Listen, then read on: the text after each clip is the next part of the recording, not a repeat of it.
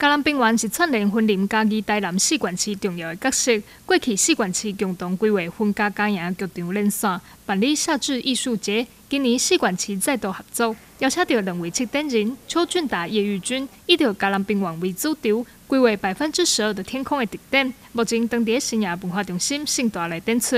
今年我们延续移动居住的概念，然后再跟这个呃另一位策展人叶玉君合作，然后叫做这个百分之十二的天空。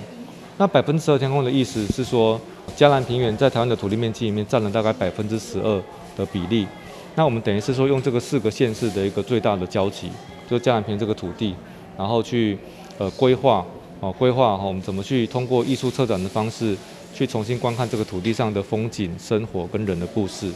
百分之十二的天空是七等人利用伫天顶飞的视野来规划三大主题展览，邀请四十四座国内外知名艺术家，透过艺术的展演、共创的工作坊，一个行为表演等等，来展现家人病原的故事。